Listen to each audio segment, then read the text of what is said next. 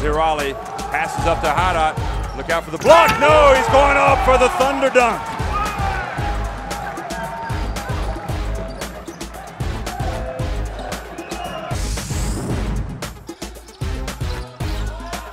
Here they come. Four on one. Watch out. Here it is, Almeida, and the alley-oop dunk.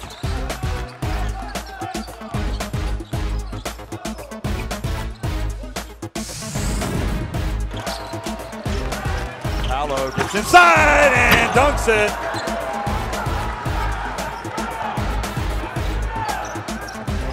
And he tugs on his shirt to say Angola. Almeida drifts inside, hands it off the chain, and draws the foul at the same time.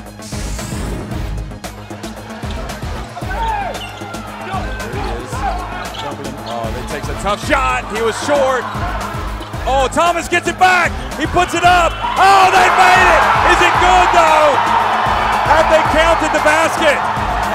This referee has counted the basket. Senegal has shocked Angola